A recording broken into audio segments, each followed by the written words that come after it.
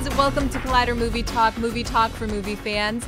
I'm your host, Ashley Mova, and this is the Daily Show. We give you all of the latest news from the world of movies, plus some insight into what it all means. Joining us, as always, is John Campea. Greetings and salutations, everybody. Welcome to the best damn movie related podcast on the planet Earth, coming to you from right here at the Collider Video Studios here in Burbank, California. And we are so glad you decided to make us part of your day. Also here, Kristian Harloff. How's it going? Um, co- thank you.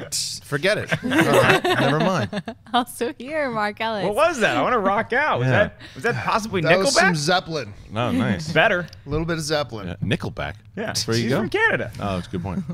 Well, this morning, the nominees for the 73rd Annual Golden Globe Awards were announced. The winners will be announced at the ceremony on January 10th, which will once again be hosted by Ricky Gervais.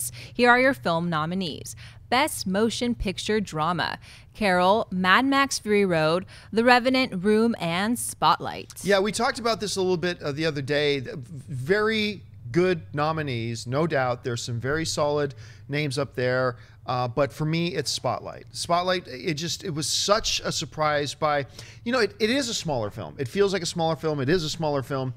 But I was amazed when I went and watched it how epic it felt, despite the scope and the scale of it.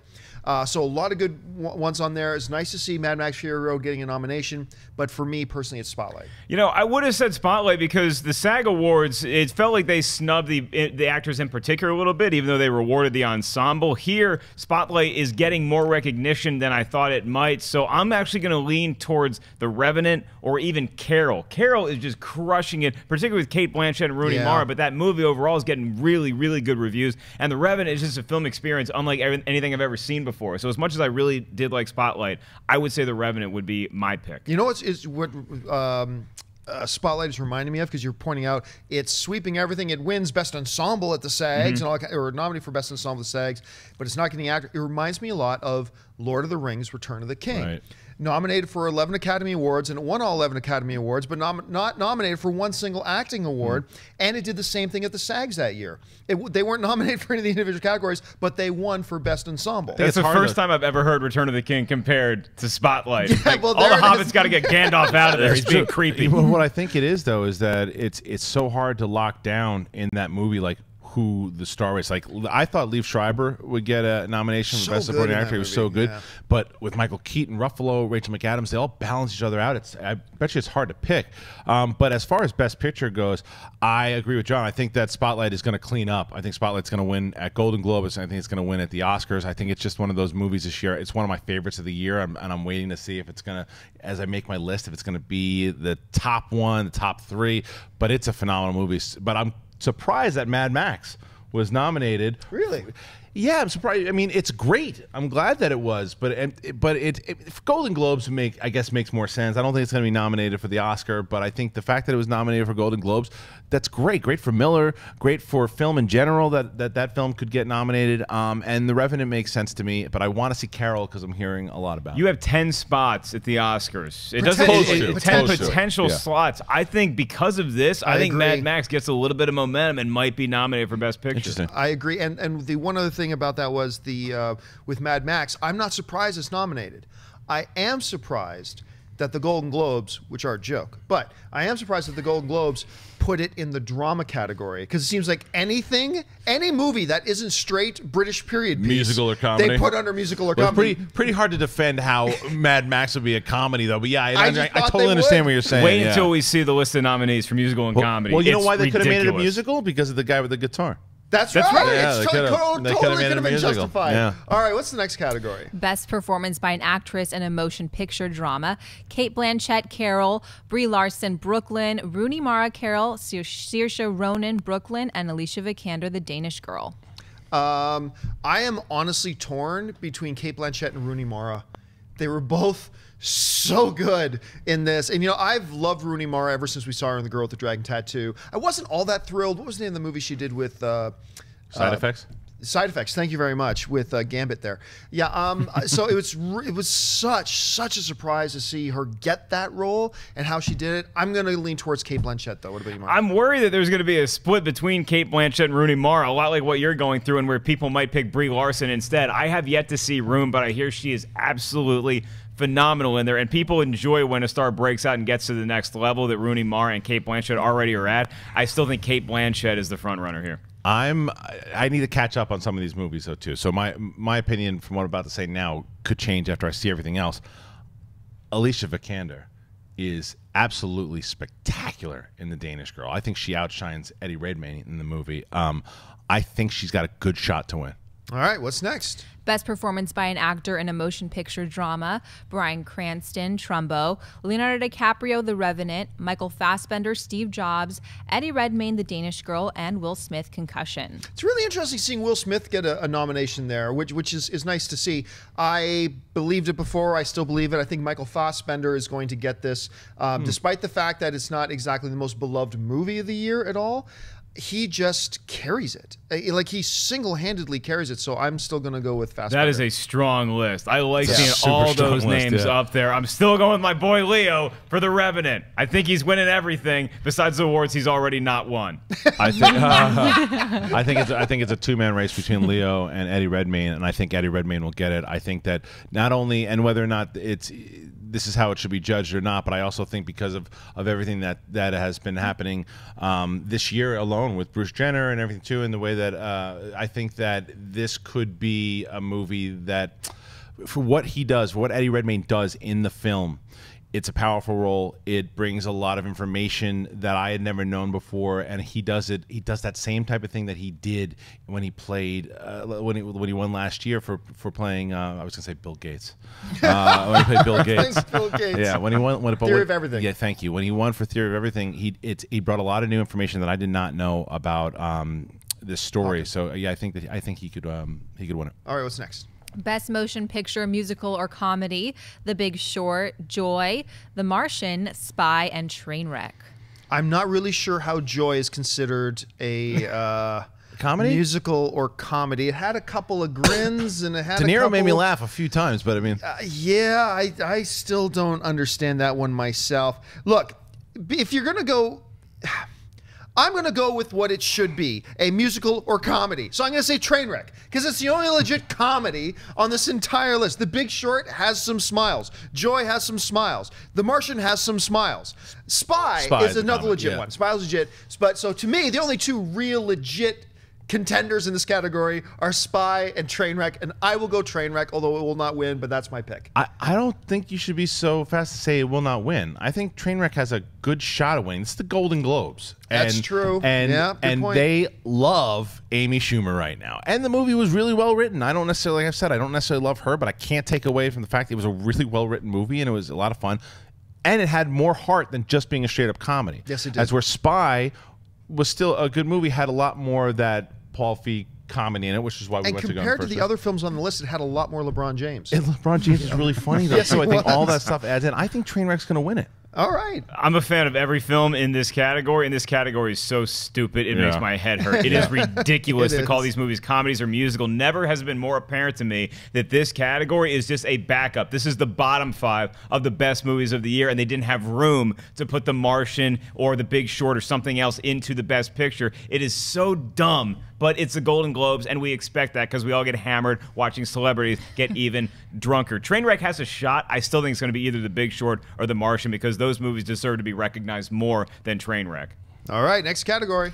Best performance by an actress in a motion picture, musical or comedy. Jennifer Lawrence Joy, Melissa McCarthy Spy, Amy Schumer Trainwreck, Maggie Smith The Lady in the Van, and Lily Tomlin Grandma.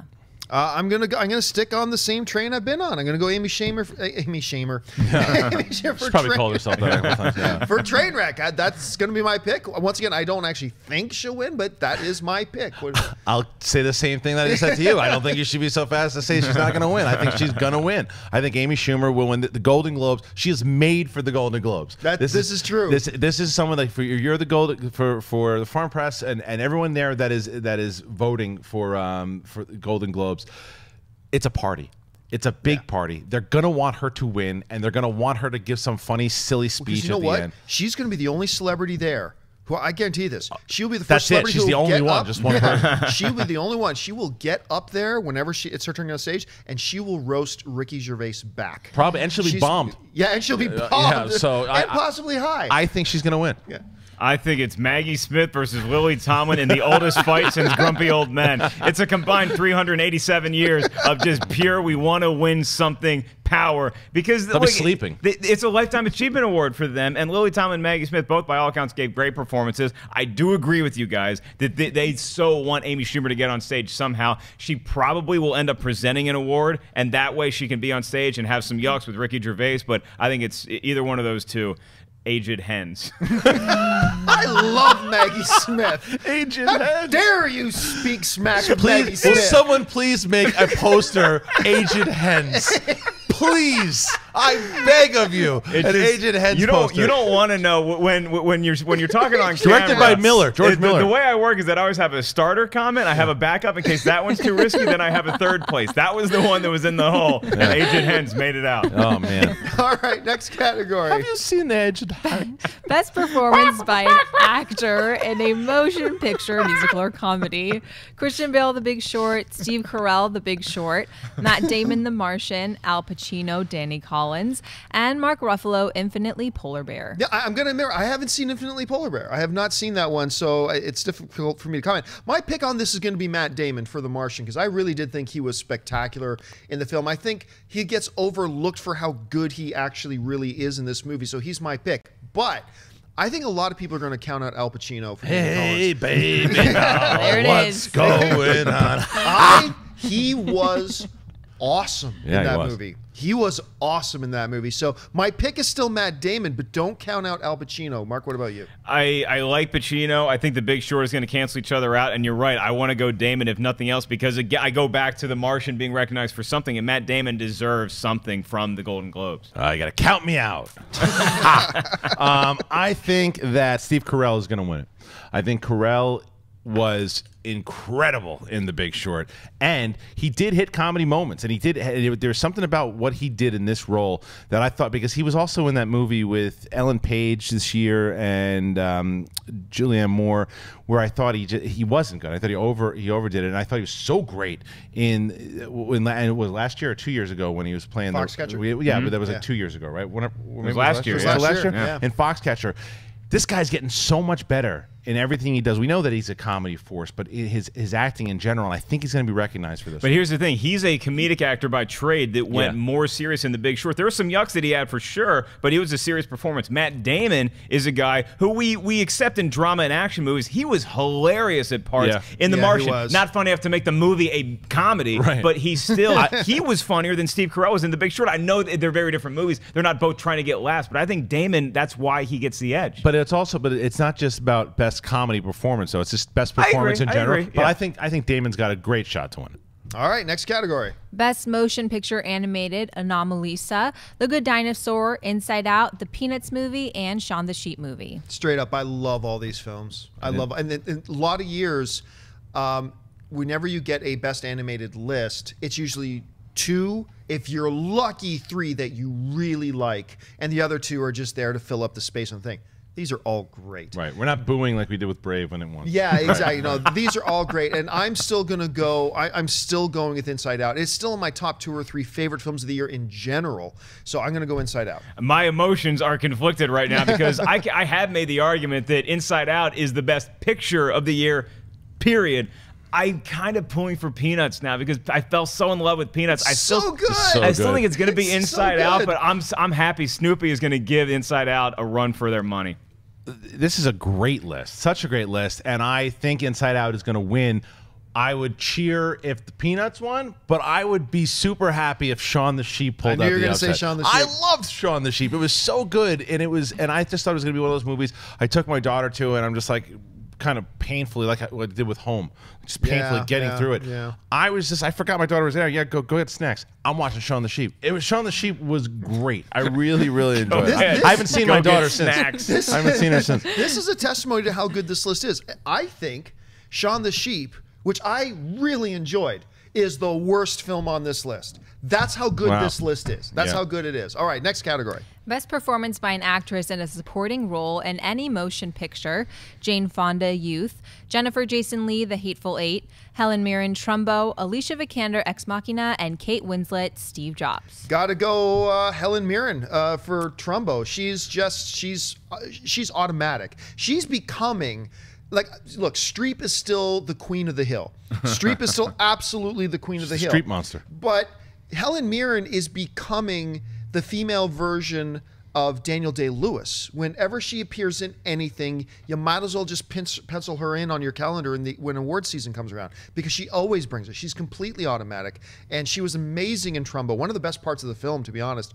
So uh, I'm going to go with Mirren. If she's Mike Tyson, I'm going to say Jennifer Jason Lee is Buster Douglas. Yeah. I think it's so exciting to see her back and the way that she has Yeah. come back in the Hateful Eight. Now, full disclosure, I have not witnessed the Hateful Eight yet. I hope to see it in 70 millimeter very soon. Everything I'm hearing, all the buzz from it, is that Jennifer Jason Lee is one of the standouts in a cast that is pretty damn impressive. Well, she's got the story. It seems like th- th- this is the story that awards love to give. If it's a if it's a really great performance, that it's possible she's she could pull it out. Because I'm hearing the same thing that Mark's hearing is how great she is, and she just blows you away. And she hasn't been around for a while. And it's the same thing like last year with um, with Boyhood with Patricia Arquette. Yeah. you know she came back. People love the comeback story when there's a really good performance behind it. But I also think, and I said it before too, I think Alicia Vikander has a shot with this one as well. Ex Machina. I mean, you believe that this girl is this machine with these emotions and what she did. It's not, and it could have just been such a drab performance, and it wasn't. You you you understood why Domhnall Gleeson was infatuated with her. So I think it's between the two of them. All right, next category. Best performance by an actor in a supporting role in any motion picture Paul Dano, Love and Mercy, Idris Elba, Beasts of No Nation, Mark Rylance, Bridge of Spies, Michael Shannon, 99 Homes, and Sylvester Stallone, Creed. Love that they put Sylvester Stallone in here. I, I am still look. If I'm an Academy voter, Sylvester Stallone gets a nomination at the Academy Awards for his portrayal. But the winner's going to be Paul Dano. Uh, the winner's going to be Paul Really? Dano for Love and Mercy. Um, so yes, there is your winner for that. So let's just move on. We're- no, I'm just yeah. kidding. kidding. Mark, what do you think? You know, I w- with my heart, I definitely would vote Sylvester Stallone, but you're right, Paul Dano, I, which I saw recently, Love and Mercy. He's just phenomenal as Brian Wilson. Where it's great to see Beast of No Nation get recognized by somebody like the Golden Globes, as we mentioned yesterday. Yeah. Mark Rylance was amazing was. as the Bridge maybe Spies, spy, yeah. a Bridge of Spies. But Pa- I think Paul Dano is going to win. But my God, I want to see Sylvester. It Stallone reminds you when you watch Love and Mercy. It reminds you that oh yeah, uh, There Will Be Blood wasn't just Daniel Day Lewis. Like you forget how good Paul Dano was in that because he's acting alongside arguably the greatest Right. actor to ever walk the face of the earth. And then you get to see him shine a little bit more here, and yeah, it really stood out to me. It, yeah, I, I have to see. I have it at home, and I need to watch it because I, I hear he's so good in it. But I was, I'm still looking at the list, waiting for Benicio del Toro for Sicario, Sicario, to pop yeah. Where, where's he and where's Tom Hardy from The Revenant? But they're not in there.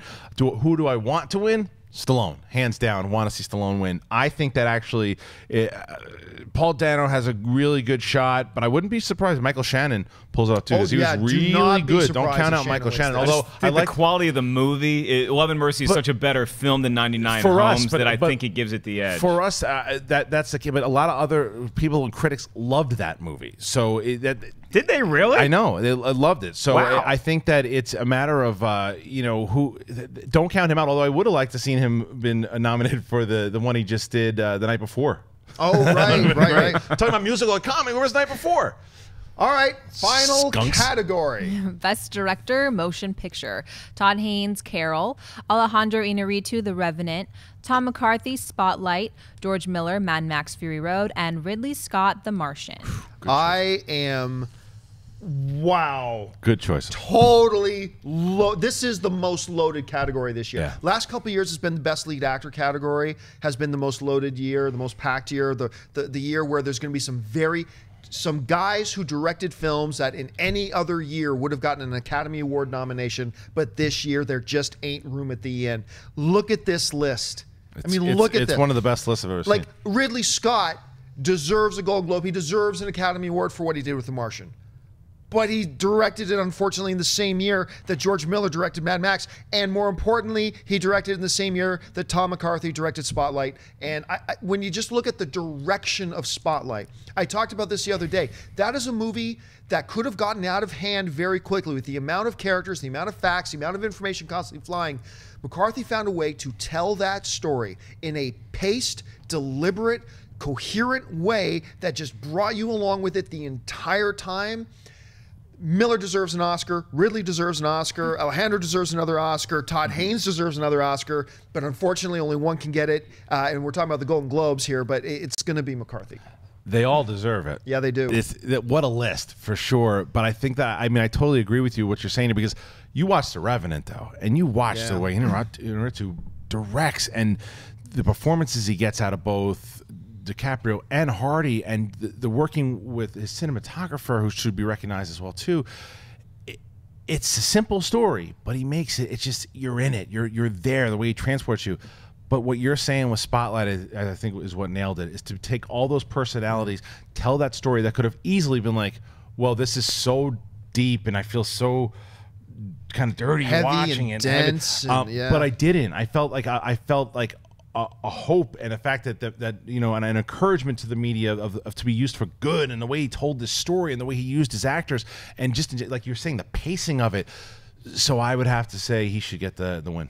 I mean, it seems like, and from what a lot of us are picking too, is that we're leaning towards movies that have a little something to say that's either political or social. And while all these films have that in their theme somewhere, it's most obvious in Spotlight and Carol. I think Spotlight would get the tiebreaker over Carol. Having said all that, I still think what Inarritu did with The Revenant and what George Miller did with Mad Max, Yeah. those are the two ones that I would love to see. So I'm going to go ahead and guess with my heart. I'm going to say Inarritu wins for The Revenant. All right, well, that'll do it for our Golden Globe nominees. Let's move on to the next topic of the day. All right, a brand new and presumably final international trailer for next week's Star Wars The Force Awakens hit the web yesterday. The new trailer contains many shots we've already seen before, but there are also a few more shots we've yet to see as well. The Force Awakens officially opens in theaters on the 18th. Kristian, what do you think of this new Star Wars trailer? Um, it's I was with Mark and we were both like, oh, we're gonna see it next week. Do we have to watch another one? and then you, if you put a camera on our faces when we're watching.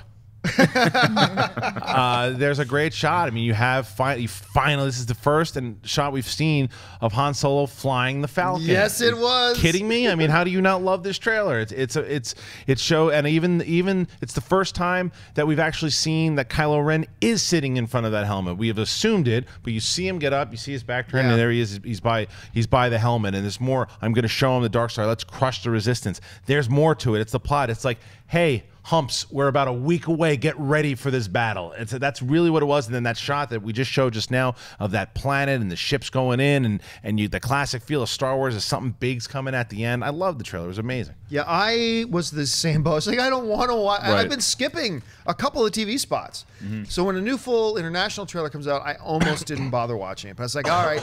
And this was a lot like a second version of a trailer that we traditionally get with other movies. It was a lot of what we got in the other trailer, with a couple of key differences. One of the things that I absolutely loved was Rey walking with BB-8. She says, "Where are you from?" He's, "Ba, ba, ba, ba," and he's like, she's like, "That's classified."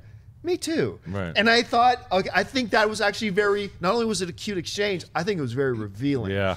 But I was telling Mark and Kristian before we started the show that a scene in this trailer has supplanted for me Han Solo saying "Chewie, we're home" as my favorite moment in a trailer this year, and it was replaced once again by Han Solo piloting the Millennium Falcon and talking to the Falcon. Yeah. Come on, baby! Like, Yeah. like I loved it. I was like in my chair, I was shaking. I rewound just that one spot over and over again to hear him talking to the Falcon. awesome. I absolutely, I don't know if you tell. I'm glowing. I was so happy to see it, so excited to see it.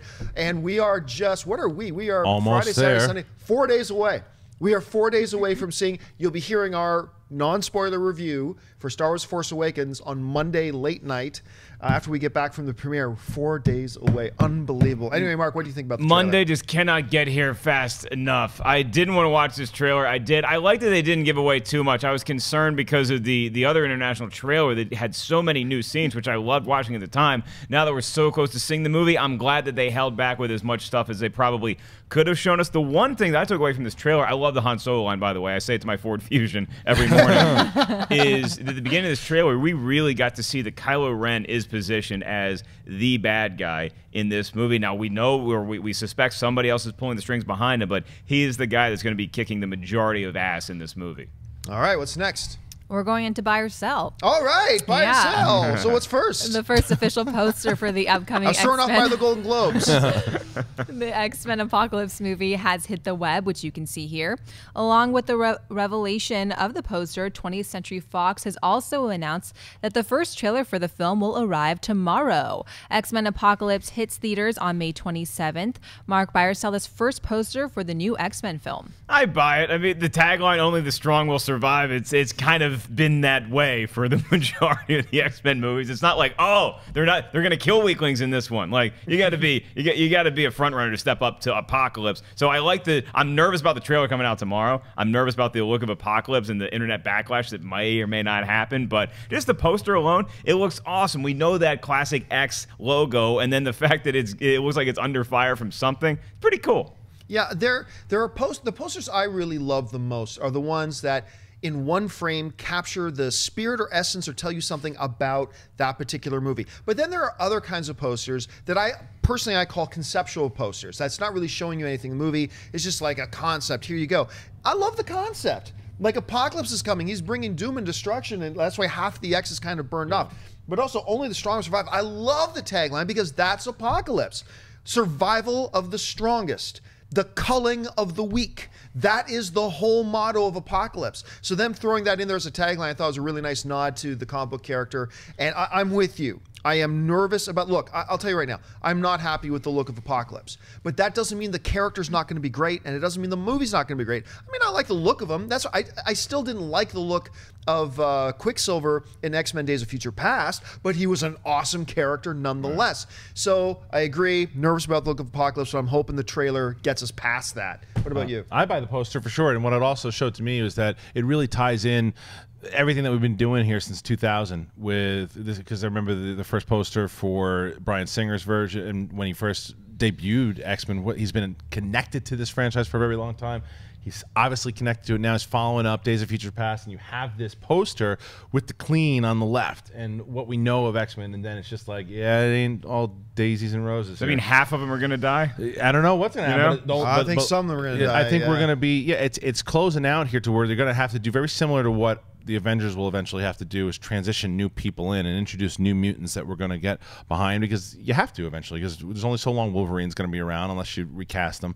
Um, but I love the poster. I think it sets up exactly what we're about to see in tomorrow's trailer. I'm very excited about tomorrow's show now. Yeah. We're talking about the, the you X-Men guys, you guys think? trailer. Do you guys because you know it's been rumored that oh Wolverine's not going to be in Apocalypse and maybe he'll be Oh, in there a little bit. be there. Do you think you see him tomorrow? no. No, I don't think you're gonna show them in Neither do tomorrow's I. trailer. I'll be jumping up and down if he is, So but, but I. I don't think he will be. All right, what's next? The first full length trailer for the upcoming Sacha Baron Cohen, Mark Strong comedy The Brothers Grimsby has hit the web. In the film Nobby, Sacha Baron Cohen has everything a man from Grimsby could want, including 11 children and the most gorgeous girlfriend in the northeast of England, Rebel Wilson. There's only one thing missing his little brother, Sebastian Mark Strong, who Nobby has spent 28 years searching for after they were separated as kids. Nobby sets off to reunite with Sebastian, unaware that not only is his brother MI6's deadliest assassin, but he's just uncovered plans for an imminent global terrorist attack. John Byer saw this new trailer for The Brothers Grimsby. I buy it a lot more than I thought I was going to. To be honest with you, like I thought, I've been reading the premise. I've been buying the premise of this for a long time, but it's, still always been a little bit iffy with me. I like that first little teaser they put out when you saw Sacha Baron Cohen and uh, Rebel Wilson in the bed having sex, and you realize they're doing it in a department store. I thought that was kind of funny, but.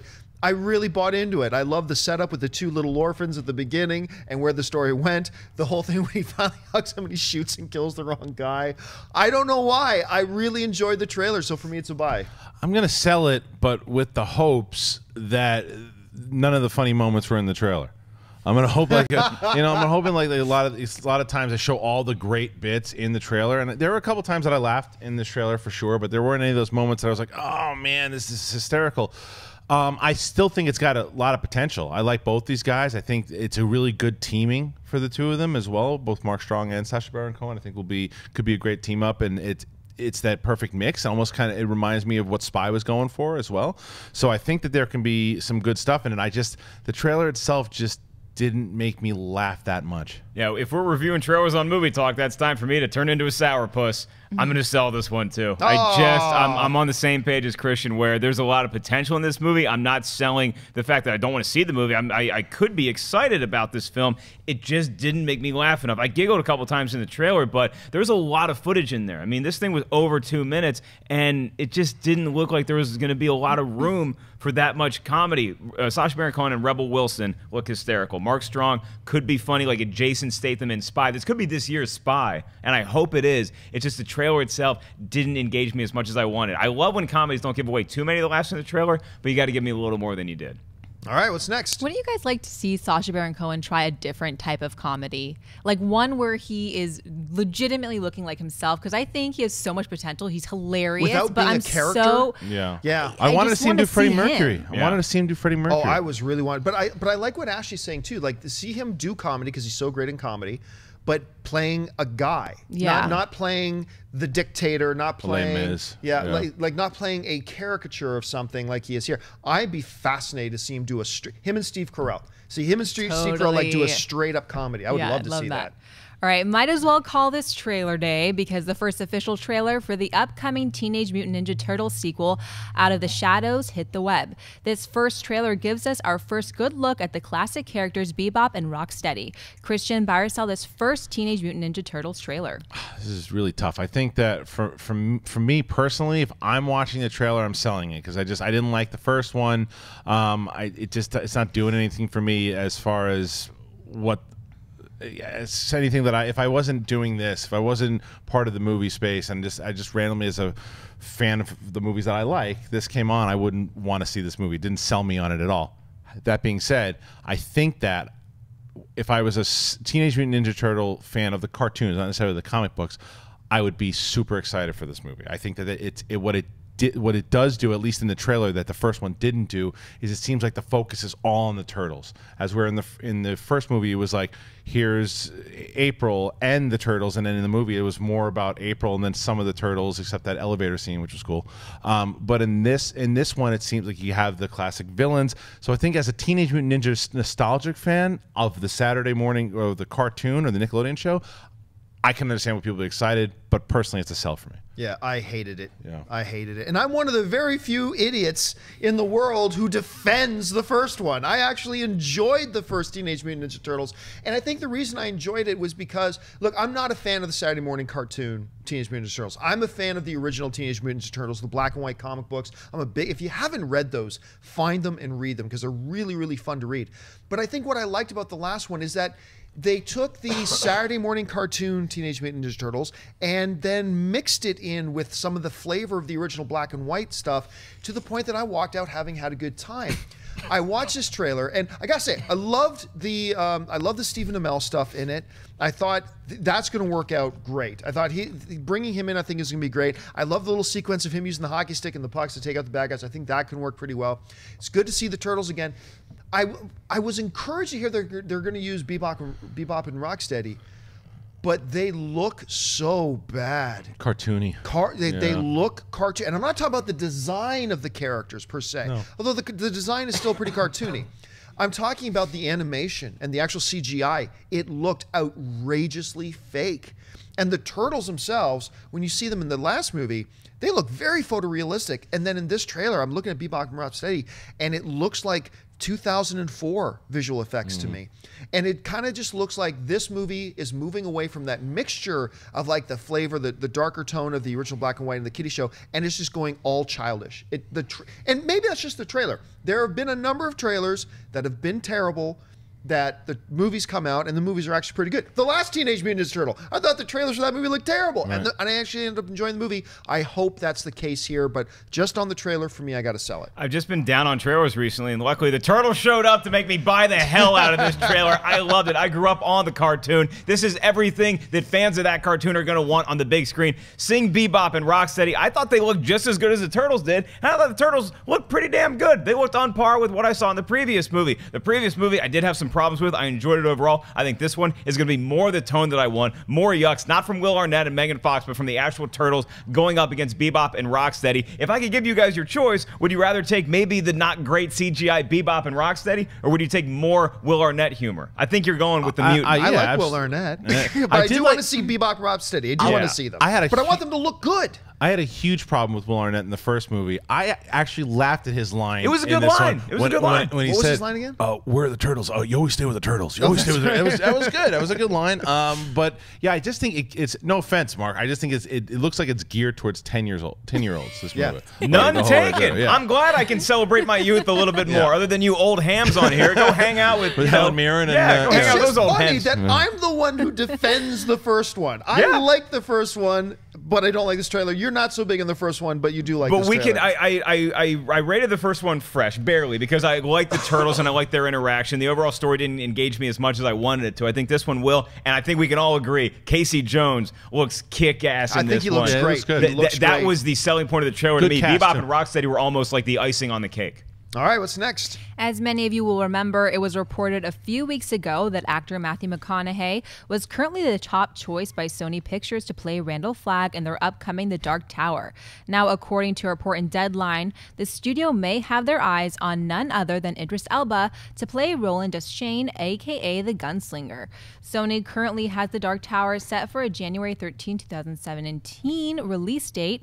Mark, would you buy or sell Idris Elba in The Dark Tower? Ooh, that'd be a big buy. Now the only question I have is who would I rather see in a Dark Tower movie, McConaughey or Elba, or could we get both of those stars in there? Idris Elba, everything he does to me is very impressive. It touches the gold. He's nominated for a Golden Globe this year. I think he would knock this role out of the stadium. Huge, huge buy. And for, first of all, if it's just Idris Elba maybe being the Dark, Dark Tower, buy. The potential of Idris Elba with Matthew McConaughey Mm-hmm. in the Dark Tower. Are you crazy? That's this could be the best pairing of the year. Well, when is it going to come out? 2017 or something like that? Uh, Whatever of that year.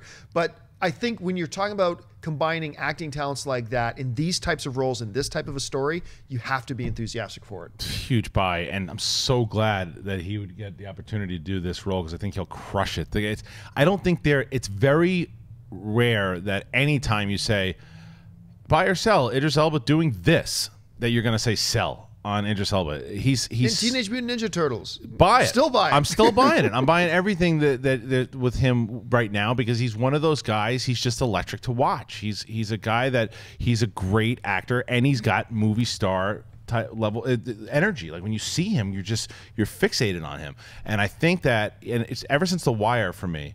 Uh, he's just one, been one of those guys I've been wanting to follow more and more and more, and to see him do a movie like this, and like you guys are saying, to work with McConaughey, I mean, come on. And big with the best Stephen King works that have been either in book form Yeah. or adapted to the big screen, you have characters who are either hero or villain adjacent. That you need you need somebody who can bring a complexity to that role. So nobody would be better in that form than Idris Elba. And if you're a fan of Idris Elba and you you're a fan of the work he's done and you have not seen his role in Steve Carell's The Office, go hmm. and watch Idris Elba in The Office. It's a different side of him and you'll eat it up. You'll love it.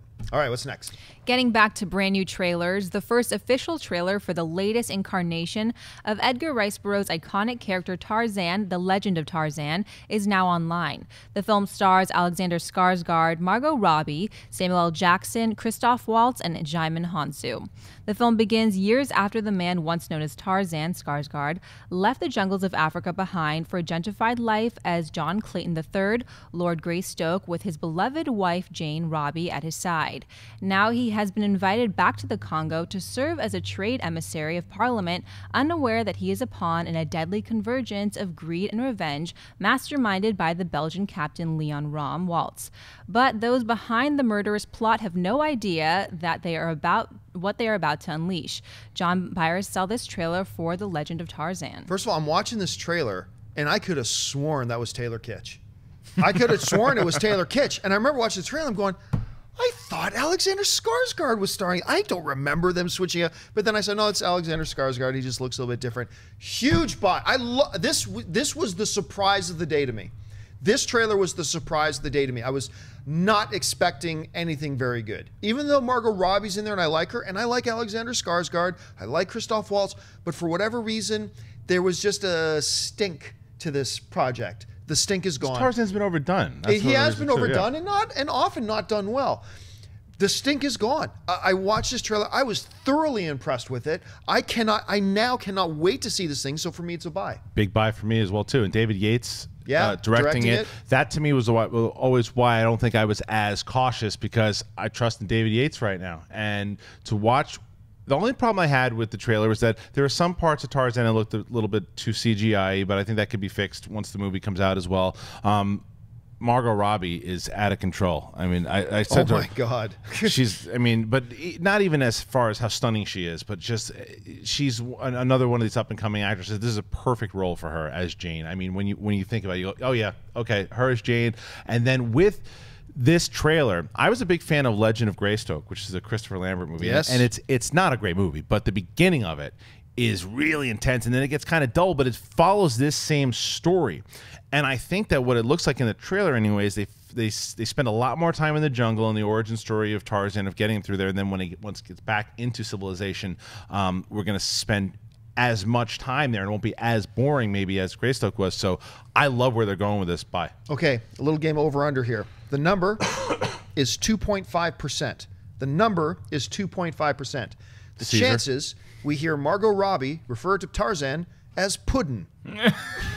I'm going way over 2.5%. Uh, under. All right, Mark, your thoughts on the trailer? It's a buy for me as well, gentlemen. Finally, we get the sequel to Jungle to Jungle that we always wanted. the Tim Allen classic with Jonathan Taylor Thomas, I believe, where he was a kid from the jungle and then he had to be in the big city. It's the same thing with Tarzan. We just get to see him in the jungle in this trailer, too, so that's why I liked it. This trailer was like watching a comic who I didn't expect to make me laugh really get me, but then it ran the light a little bit. After we saw the title Tarzan, I didn't like that they put that other scene in there. I didn't want that scene in yeah, there. I agree with you. That It- was a uh, that was out of place. It was like it was a, you get off stage. You, you had your big laugh. Now get the hell out of here. What I love the most about the trailer was how they didn't they, they didn't rely too much on the Tarzan yell, but you heard it in Right. the background. Right. Yeah. That Right. was so well, done. And I was worried at the end of the trailer they were just going to throw it out there front and center, and they didn't. Brilliant job on that. I just didn't like when Doomsday showed up. Bebop and Rocksteady looked great in that jungle though. All right, last trailer of the day. Yes, our final new trailer for the day is the first official spot for the newest Steven Spielberg film, The BFG. Disney's The BFG movie tells the imaginative story of a young girl and the giant who introduces her to the wonders and pearls of Giant Country. Upon her arrival in Giant Country, Sophie, a precious 10 year old girl from London, is initially frightened of the mysterious giant who has brought her to his cave, but soon comes to realize that the BFG is actually quite gentle and charming, and having never met a giant before, has many questions. Mark Barr saw this trailer for the BFG. I, I by the trailer really liked it. I got to be a jackass here. What does the F stand for? Friendly. Because- oh, okay. What is it? Friendly. friendly. Oh. I thought it might be something else that rhymes, sounds like fudging, because it is a big effing giant that grabs this girl and takes her off somewhere. I'm so intrigued. It was a great way to build a teaser because we got to know this girl's world a little bit, and then at the end you see that hand come in, and it's like, oh my god, where the hell are we going? I want to follow it, especially when you throw that name Steven Spielberg. He's pretty cool. I cannot be the only person that when I heard the title BFG, I was thinking this was going to be a Doom movie. Like, right? Like, that's what we all thought. It's the big fucking gun. That's the BFG. I don't know how you get away with it. I, anyway, I thought I buy the trailer. I do. I like the trailer. Um, it was a very nice trailer in and of itself. But then you add the name Steven Spielberg to it, and you look at the trailer. You and then you look at this trailer through Steven Spielberg colored glasses, and you're like, oh, this could be brilliant. This could be really good. So I was impressed with it. I like it. For me, it's a buy. Yeah, I, I buy it as well too. You could it- this was the thing with Bridge of Spies, which I thought was a good movie, just not great. Didn't feel like it had that Spielberg magic to it. Like it didn't like I, I, if you said to me Spielberg didn't direct that, I'd be like, okay, that makes sense. This one feels like Spielberg's magic already, and I actually thought that scene when the giant actually discovers her and start walking, I was, that was creepy. It was, mm-hmm. it was really, and then she just hides under the bed, and the hand comes in, and it was a nice little fairy tale. I'm a big fan of of Tintin as well too. I thought Tintin was a great movie, and this to me, even though you know live action, it felt like had that Tintin feel as well. So I, it was a buy. I'm excited. For Kids it. are so stupid, you know? Kids are so stupid. That's it's like a generic truth. You're gonna, you're gonna hide under the covers with a giant hand. Get under the bed, dummy. There's no monsters under there. It's a monster. It's gonna grab you if you hide under the covers. Pro tip. All right, folks. Well, listen, it's Thursday, which means it's time for us to talk about what is opening this week, brought to you by our friends at AMC Theaters. Now, on Tuesday, we talked a little bit about uh, In the Heart of the Sea, and now we got a couple more to talk about. I'm going to let you guys know, too, right up right now, is that we're not going to have any mailbag questions today because we are running a little bit long, but we are still going to take some of your live Twitter questions. So if you're watching us live right now, you can jump on Twitter and tweet to us at Collider Video, and then Ashley will pick out a couple of your tweets at the end of the show. But right now, let's get to what's opening this week. So, Ashley, what do we got? First up, opening in limited release this week is The Big Short. When four outsiders saw what the big banks, media, and government refused to the global collapse of the economy they had an idea The Big Short. Their bold investment leads them into the dark underbelly of modern banking where they must question everyone and everything. And expanding into wider release this week is Legend. Suave, charming, and volatile Reggie Kray, Tom Hardy, and his unstable twin brother Ronnie start to leave their mark on the London underworld in the 1960s. Using violence to get what they want, the siblings orchestrate robberies and murders while running nightclubs and protection rackets. With police detective Leonard Nipper Read hot on their heels, the brothers continue their rapid rise to power and achieve tabloid notoriety. Kristian, which of these films should audience be, audiences be looking forward to? Well, if you're a Tom Hardy fan and you really enjoy Hardy, obviously you're going to want to see him play this role because you can reference back to Jean Claude Van Damme in uh, Double Impact. Uh, but no, I think that he's getting a lot of buzz off these performances. I just hear the movie's not great. I want to see the movie, obviously, because I am a Tom Hardy fan, and I'm very curious. And I'm and gangster movies. I love gangster movies, so I want to see what he does as the Kray twins.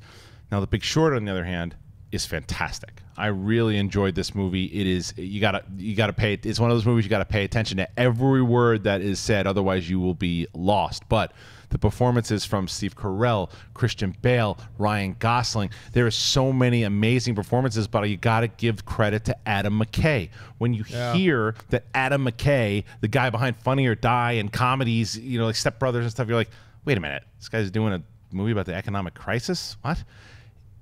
man, what a great job from him because he was fighting against people not thinking he can do it, and he did it. And it's the same, uh, based off the same uh, author, the guy who wrote Moneyball. Yep. And it is a movie that really surprised me. I was and The Blind Side.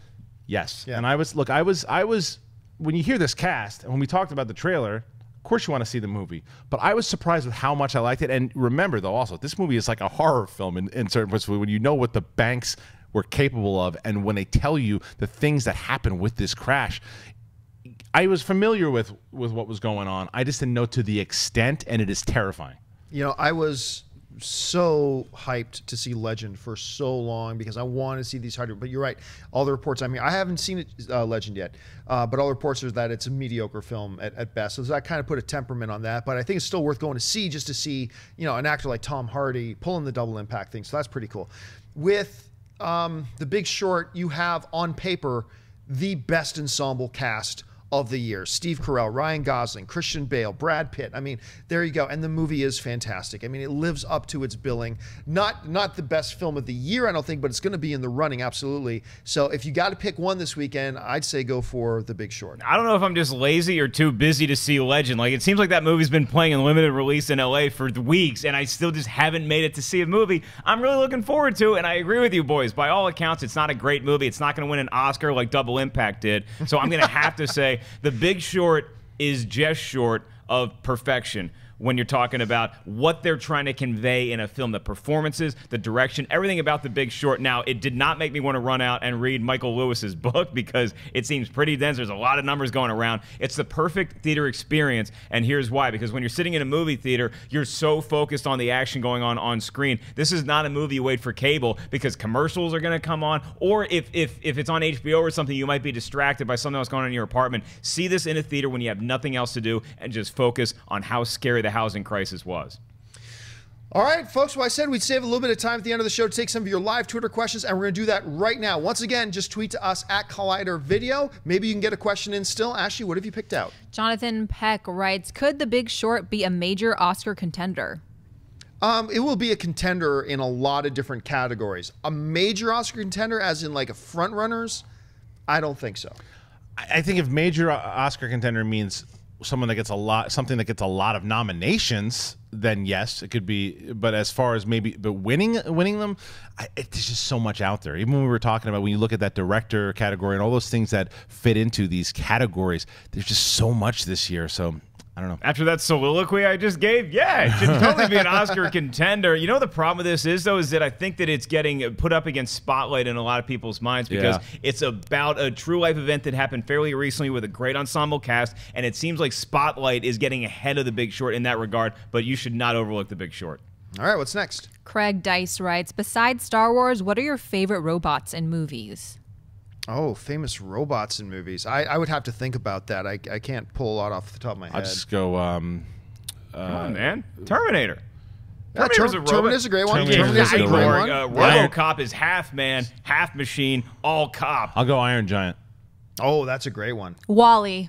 Boom. Oh, look at Ellis's yes, face. Look at Virgo Ellis. animated, Uh, yes. the trash compact. I love Wall-E. Ellis hates Not, you know what the answer is not Johnny Five. That is the I most annoying Five. robot in the history of Stop robots it. on screen. That's why you hate oh, Wall-E. no, no. You know why? Rocky Four. That's the robot you Happy want because it birthday, brings you beer.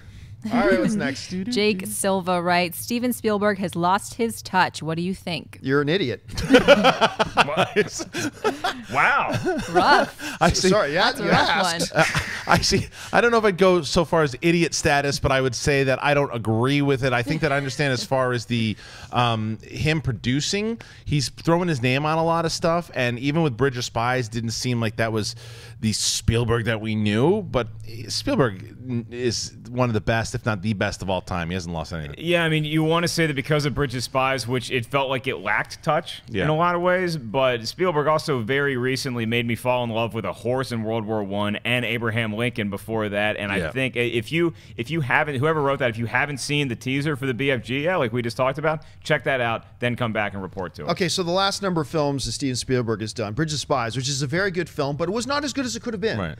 But I think everybody pretty much across the board. It's a very it's good okay, yeah. film. That's how that's Steven Spielberg's bad day at the office. A very good film. That isn't going to win an Academy Award. That's his bad day at the office. These are the last few ones he's done. Warhorse nominated for Best Picture of the Year. The Adventures of Tintin, a really underrated film that, that a lot of people love that movie. Uh, then before Adventures of Tintin, you had uh, well Indiana Jones and the Kingdom of the Crystal Skull. That's the one where That's I'll the- say he that's the real bad lost- day at That's the the bad. That's a real bad day. But then he had Munich nominated for Best Film uh, at the Oscars. War of the Worlds, which is really good. The Terminal, which a lot of people love. Catch Me If You Can, which was brilliant. Minority Report, which is brilliant. Uh, where do we go? Then Saving Private Ryan. Amistad, which I think is his best film, is actually Amistad. I mean, Wow, like, really? Wow. I think Amistad is his best film. Was I- there a shark attack in that boat? Yes, there was. No. Really? I was going to say that's in there, really. Yeah, Jaws. Then you go to the old stuff, Jaws, E.T., but, but that's just in the last 10 years, those films. I mean, so has he lost his touch? Are you kidding me? That's like, that's like I, I- I just that's just ridiculous. It's like saying watching going back at like 15 or 20 years, seeing Michael Jordan shoot in one game, shoots gets 22 points, saying, "Oh, Michael Jordan's lost it." What are you kidding? Last game he scored 81. What are you talking? Like it just it's a ridiculous I think notion. that you can understand maybe also why maybe the question being asked is he like you said the last couple movies he's done there hasn't been a lot. I mean, you look at someone like Clint Eastwood who puts out like two a year, right? As where Spielberg does like one every like two or three years. So I think that you start to you start to forget of how great he is because you don't see his see his movies. And like John's saying, when his movies come out, even Bridge of Spies, it's like it's not it doesn't stink. The only one that I personally think stinks is Crystal Skull.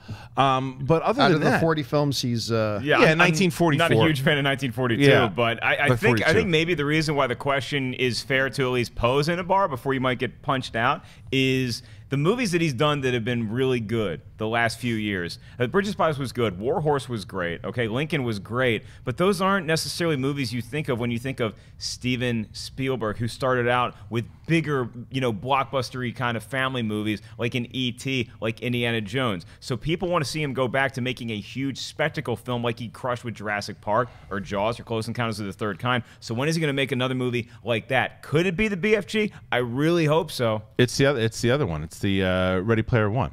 That's what he's going to come back could- yeah, and do. that- I think it's going to be a lot of people because that's what too. he'll do, man. He'll do Ready Player One, and then he'll do something like The Bridge of Spies, or even when he when he used to do- when he used to have War, War of the Worlds, Schindler's List. He's such a great filmmaker. He can do both those tones. There are not a lot of directors that There's can a do that. reason why Steven Spielberg is the one act is the one director I should say in Hollywood all the other directors go to. There's a reason why J when whenever J.J. Abrams has an idea about something, the first thing he does is he goes and sits in Steven Spielberg's office. When you're that guy, that other directors go and seek out, I mean, you're the man. Colin Trevorrow Yes, told, told us this, yeah. that he- for the whole, you hear a lot of times someone's a producer on the film, they're collecting checks. Colin Trevorrow told Mark and myself that that Spielberg was like the producer. He would call Spielberg every day to go over what was going on, and they had conversations back and forth. His door was open to get the ideas and the feel of the first one. He was very involved. Yeah, Jacob, did we answer your question? All right, let's take two more quick questions. All right, Amar Al Ahdal writes Did any of you guys see Macbeth? If so, how was it? I have It's- the, it's- I have the It's- screener in my car. It's right out there. Yeah, it's right out there. It's awesome. Is it? it's it's Okay, really good, awesome. good, it's not gonna is and most people aren't gonna see it, but uh, but it's it's Is, pretty is, is it the classic Shakespearean dialogue? Like, did they change the lines or did the actual lines? It's it's a It's Macbeth. I heard it's more brutal than you might. It expect. well, no, it, it is it is far more visceral than you would expect. Like you you hear Macbeth, and if you under if you know Macbeth, you know there's elements of that, but you kind of think it's a Hollywood version of it. It's going to be that it's visceral, it's brutal. And you're gonna you're gonna love it, Wow. and it'll give you. Remember, this is the same was just- Assassin's actor, actress, and director combo, actor, actress, and director, that are also going to be doing Assassin's Creed. And when you watch them doing Macbeth, you're gonna have a lot of damn hope for Assassin's That's what I was going to ask. Yeah. All right, what's the last question of the day? J O N writes What are your favorite lawyer movies? Mine is Lady in Gold and Find Me Guilty. Yeah, Find Me Guilty is great. That's a great call. Time to kill.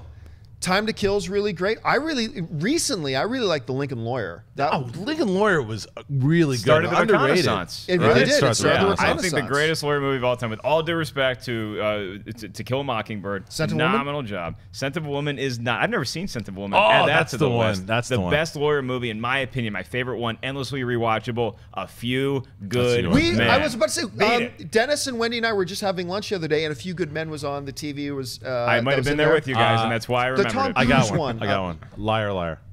I love great. Liar Liar. I'm in the dark here. You understand? All right, folks, that'll do it for us for this installment of Collider Movie Talk. Gino's not- oh, he's not in that one. He's in Son of say that's. That'll do it for us for this installment of Collider Movie Talk. We've totally lost control. Thank you so much for joining us. Listen, don't forget, lots of great films playing at our friends over at AMC Theaters. Head on over to www.amctheaters.com for all of your theater showtime and, of course, your movie ticket information. While you're at it, click the subscribe button. Come back and join this pack of idiots every single day as we talk movies and movie news. We're glad you make this a part of your day. I want to thank the people sitting at the table with me. First of all, sitting over here, Mr. Mark Ellis. Mark, where can people find you online? I'm hitting on all the aged hens. I am the cock of the walk on Twitter and on Instagram at 5150 Ellis. This Saturday and Sunday, I'll be on stage at the world famous comedy store. Sitting over here, Mr. Kristian Harloff. Kristian, where can people find you? Find me right after this goes off the air because I'm going to periscope these fools and we'll do a post show. Um, so make sure you do that. But also check out Collider Jedi Council. The Smith Lord, Tiffany Smith, makes her debut today on Jedi Council, and it will be the last Sort of debut. She's been on before. as a regular As a council regular, member. yes. So you guys, this is the last time we will do Jedi Council Oh my God, without you're have right. seeing the Force Awakens. last Jedi Make Council sure before you check The it out. Force Awakens. Hashtag Collider Jedi Council and try to get your questions on the air. And of course, our lovely host today, Miss Ashley Mova. Ashley, where can people find you online? On Twitter and on Instagram at Ashley Mova. Happy Thursday, guys. and if you're kind of in the sort of mood where you hate yourself and you think you need to be punished, be Ashley Mova's waiter and don't bring her bread. Just throwing that State out. of- See, if you watch my us cards. Periscope, watch you his get the joke. Maybe you get that a little bit. And I a special thanks to Wendy Des behind the cameras, and thank you to you guys for joining us. So my name's John Campea, and until next time, bye bye. Hey guys, if you like this video, click the thumbs up button. Also, make sure you subscribe to our YouTube channel. It'll help you stay up to date with everything we've got going on here at Collider.